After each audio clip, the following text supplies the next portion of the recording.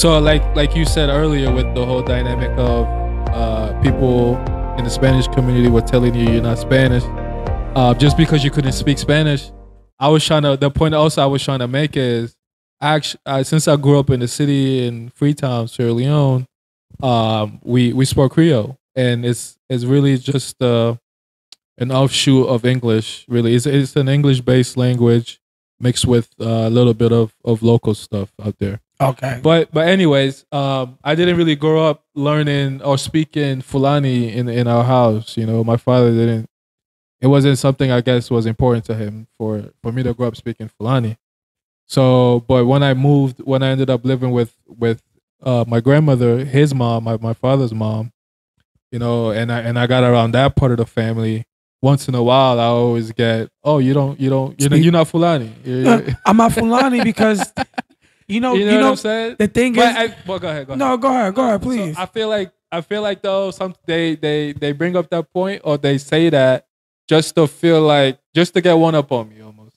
Like maybe if we're in an argument, Make and, feel some I- type of yeah, way. Yeah, yeah, just to put me down a bit. and that's like your dad's side of the family telling That's you my that. dad's side of the family. Yeah, yeah, yeah. And this, you know me, I would have something to say about that.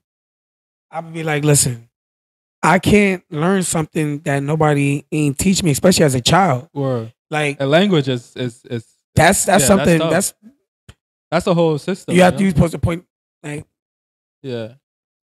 Right. where you was at. Right. Why you ain't teaching me? Why you ain't teaching me right? Exactly. Sure. So, uh, but you like actually you too like you actually took uh the um the the steps to actually learn Spanish, right? I'd even I How'd you yeah, go about learning a new language, by the way? I'm gonna I'm gonna tell everybody, right? So, like, I wanted to learn how to speak Spanish, right? Mm. But I ain't have nobody to teach me. So, like I said, we live in a dominant Spanish, you know, area. So when I used to work at, you know, my one of my warehouse jobs, I was at Crayola, working at Crayola, and then this is a this is a crazy thing too, bro. People treat you different once they know you mix, like with them. Like, like once I let them know I was Spanish, oh, I got a, a whole different type of treatment. So I was at Crayola, I was on the line working with these Puerto Rican ladies, right? Then I told them, like, yeah, I'm half Spanish. My mom Puerto Rican, like straight like that. Look at my last name. You feel me? My last name is Stamp, Spanish. Once you see my last name to like a Spanish person, that's just certified. You know what I'm saying? That's all I gotta do. Show my last name. How does nigga get this last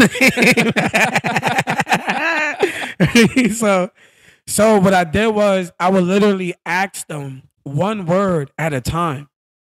so every day, or Every day I'm taking one word and I'm like, how do you say like a phrase, like any type of phrase? I'm asking one word, like how you say wall, how you say how you do that, how- anything, how you say this, how you say this, how you say this, how you say this. They used to get annoyed, like Darrell, oh my God, stop, like, oh, this is so annoying. But then I went like a couple years later, I went to the Walmart warehouse, right? And I told Alvin, I was like, yo, Al, when I get out this shit, bro, I'm gonna learn how to speak Spanish. So it was me and some dude. It was our first day, some Dominican dude. We working side by side, et cetera, et cetera. Then um, you know, just for the first day. And then I had like a like a little computer joint on my arm, like to do the job. And and it has like my my login information, which was my name. And then I told the dude, yo, um, I'm Dominican. He looked at me straight up and said, You're not Dominican. You don't got the face of a Dominican. I know faces of Dominicans.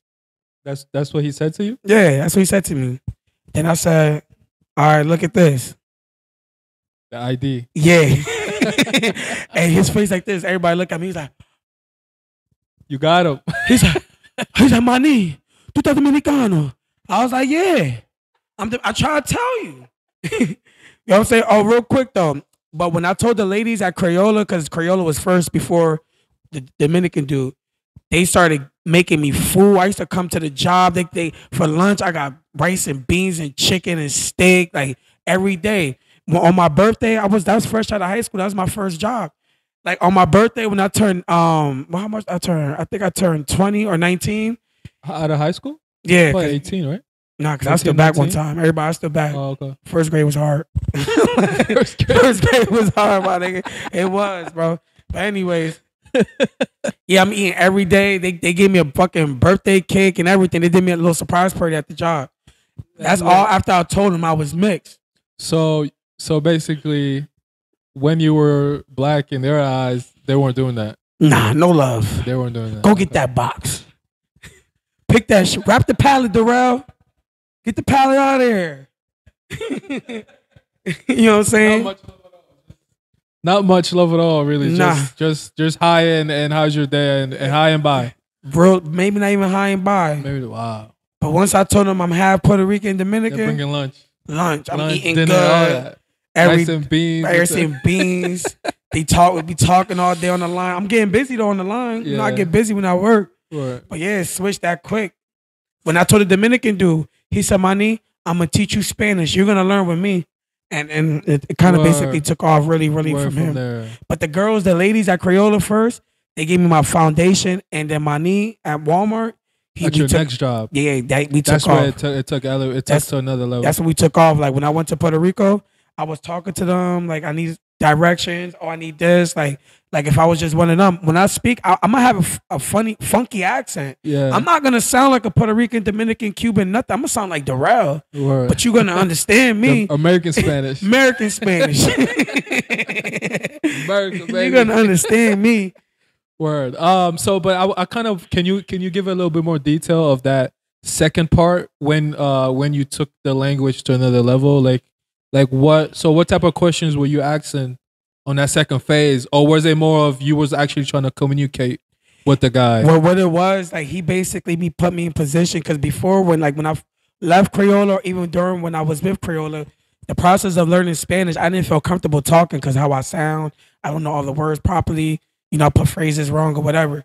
But with my knee at Walmart, he was like, "Bro, you're not gonna have you're gonna have to stop being nervous." He put me around all the Spanish niggas. I was my knee right here, que lo que, da, da, da," and talking. So that I had to like get, you know, from being uncomfortable and yeah, just like he brought you out of your shell. yeah, almost. to let loose. Like now, if I have to speak to anybody in Spanish any moment in time, it's okay. Word. What's up? What you need? That's what's up. That's what's up. No, it's it's great. Me too. Like um, I I wanted to dive on the on the language because You have to I learn mean- English, right? Huh? You have to learn English, right? no. yeah, I, I did, but, uh, but we're not talking about English here. We're talking Okay. about. I, I also had to learn Fulani. If you Okay, remember what we're talking about, Oh yeah. just five minutes ago, right? but you have to learn English at some point, though, right? When I moved to the states, I, I did. Yeah, All right. So Yeah. look, everybody, come on now. my English was better than Fulani though. It was. Yeah. Because Was I, you I went learning to out school there? out there when I was I was up to like nine years old or whatever. Like that, we we did we learned. That's what we learned in school is English. Okay, let's get back to the Fulani. You had to But anyways, Fulani. I actually had to learn Fulani from scratch. Meaning like I didn't know not even one word in like you did it like ABC ways, wise, like no, well yeah, word by that- word, like me. the like the Fulani, like I said, they're they're actually a very advanced tribe. Like meaning, um, even when they were like back in the day, almost uh before Africa was yeah before Africa was colonized, like the Fulani at one point had their own empire, um, specifically based like more of West Africa. They had they were ruling from like Guinea all the way to Senegal. Mhm. Like all that landmass was was under their control. Mm. Uh, but um, Who did lose it to? so their their empire started falling apart as the as the French as the French started uh, See, this is just for all the viewers, just to see what's going on. It's been going on, not just for us. didn't start to that. You know what I mean? Yeah. But you know, But yeah, let's let's let's let's Stay go on back topic. to the. because me with me, I'll just keep now, going. now we'll definitely get into that though. But let's go on back to the language. Um, I had the opportunity to move to actually live with my grandmother in Guinea. well, with uh, Nene, Yeah, when I was when I was younger. So what's, I up, what's up, boss? so I when I moved out there, we um, I was out there for like maybe two years. Mm-hmm. Um, and I was able to pick up the language. Um, The Fulani language. yeah, the Fulani language. Nene speaks Fulani. Yeah. She, I, she don't speak Creole. She does. She speaks both. She speaks like five languages. Oh, for? What language does she speak? Real quick, just for the viewers. They might Um, they might want to know what Nene. I don't know all of them off my head, but she speaks like most of the languages out of Sierra Leone, Oh, like all the other tribes. She's OG, well. OG. Yeah, yeah. Okay. She she knows Fulani. She knows the she lo- like the universal local language Creole, and then she knows like Madingo, Timini, Soso. Like those. so you all- do know the languages.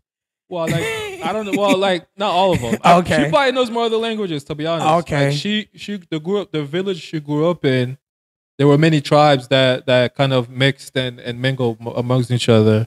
So from what she told me was that she was required to speak Fulani in our home, like out of her father's house. hmm But after she left her father's house, um, then it was whatever. Like she was, she would i- interact with obviously other people, um, and where she was, she would pick up her friends' languages, and then her friends would pick up her languages. Just that's just how it That's was. how it went. yeah. So you you had to learn how to speak Fulani from scratch. Like, how long did it take you? Like, how was that process? Yeah, like, I would say so. When I was living with with my grandmother in Guinea, um, you lived in Guinea. yeah, the, That's so fire. that was like that's all. That was all that was around us was Fulani. Fulani. There was no Creole. How old were you at that time? Uh, probably like eight or seven, seven, And, seven. and at the, and at that point, you speaking straight um Creole. So you yeah, go- my whole life at that point was just Creole. so now you're going to a and, whole and then English in school, but okay. but yeah. So then you go into a household straight Fulani. what the hell are they even saying to me? Well, my, my cousin and them they knew Creole too because they break it they, down They all they they were all born in Sierra Leone, but our tribe specifically is out of Guinea. If, Okay. if that makes sense. Okay, Yeah, but they yeah they all know Creole still because they were all born in Sierra Leone. right. But specifically, if we're talking about the Fulanis, where like they're, They- that's where they deep at. populated at Mhm. is in Guinea. Okay. Yeah. So, but anyways, um, yeah, it took me like a year, bro, a year to actually speak and understand the language. I would say after like a year, I was really comfortable where I was just speaking and and I, I was eh, basically doing my own thing. Regular. Yeah, just regular. Like the first was crazy. Like the first couple months was really tough because when I when I would go out with my lo- with my cousin, Cherno, okay. yeah, like when I when I would go out with him, he was he was a dickhead though. he speak Fulani. He speaks Fulani. Yeah, he grew up. He grew up in that environment where Mm. Yeah. But why was he a dickhead? because we'll go out and you know I'm new. I'm the new guy, and like and like him and his mans or whatever wherever we go, like they wouldn't just speak Fulani. They would mess with me. So like I don't understand what they're saying. They would literally like speak like they would say the word backward. Like for an example, if they want to say like school or whatever, or like sorry, like if they want to say I'm going to school, they would say school I'm going or something like that. Right, like, right, like they right. would just change it up in a way. Come on, me cheese. super off. Come on. Why you get, give my man a hard time out Or, there? or or yo, I'm about to go. I'm about to go buy food or whatever. nah. They would literally say like food I'm about to buy or something. Like it, it would be mad weird, and I'll be like, They- and if you don't know the language, it's hard to put it together at Right. that point. so you just If you only know like bit by bit, you know what I'm Right. saying? so you just hearing little words at a time. Yeah. So um so yeah, man. So it took me like a year or so to actually pick up and and uh and and be Understand the comfortable with the language. Yeah. You can still speak it to this day. so now since since ever since we moved to the states um uh i like i basically i stopped speaking fulani so Oh, so you lost. but I, right now i understand it like i can i don't i can't i can't lie though i, I don't understand 100% of it at this point but um if if you're i can i can communicate a little bit but i i'm i'm more at the point where i understand listening wise more Yeah, than more I can, he can actually, actually speak. speak. yeah so, at least you can understand. that's- shit. yeah, yeah, you know what I'm saying. It's language is not really hard to uh, to learn. It you- makes it much easier if you put yourself in the environment, right. kind of like how you did, where you were working with majority Spanish Exactly. folks. I know if I was And, with a bunch of people that spoke Swahili, I speak Swahili. Word. I want to pick up Swahili too. That's another language I want to pick up. I know a little bit. I know how to say hello. My uh my Kenyan guys says it's very simple. Um, it's like you can almost learn it from a book because the word like you pronounce the word as you read it. It's not like That's like Spanish. yeah, you pronounce it as you read it. So it's not it's not gonna spell like knife and you you pronounce right. it Phone. like yeah. you know what I'm saying? Like a knife. Knife. if you would if you don't know any better, that's how you would actually say knife. If you read if Exactly. you're just reading it, you know what I'm saying? or So that's what I mean. Yeah, it's not Like phone pone. yeah, ex- yeah, exactly. So yeah, it's not so Swahili is is is uh Simple. yeah, it's it's just as it's written. That's that's what it is. Interesting, right? Very interesting.